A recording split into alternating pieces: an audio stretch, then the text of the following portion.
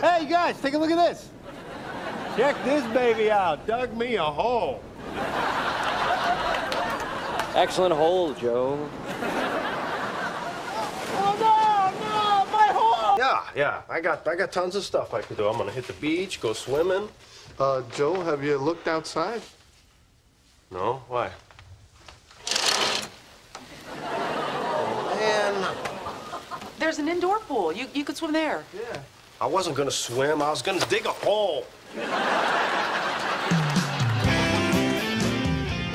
We just decided that Rachel is going to be your maid of honor. oh, that's great! Oh, wow. Okay, we really have to start planning. I, I have a lot of really specific ideas. We should probably get together like four times a week. You can come over to my place. We'll get together before work.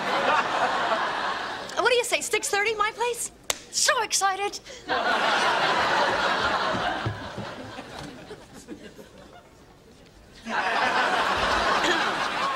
Okay, you laugh now.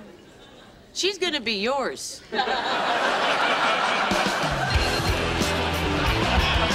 Oh, it's my wedding planner. She's driving me crazy. Hello? Hey, okay, stop screaming. Okay, so halibut. All right, so salmon. Either way, I don't, I don't, it doesn't matter to me. Well, it matters to me. Well, I, I don't care, so you pick. Did you just hang up on me?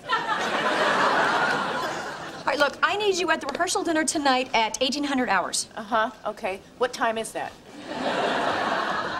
You don't know military time? Well, I must have been in missile training the day they taught that.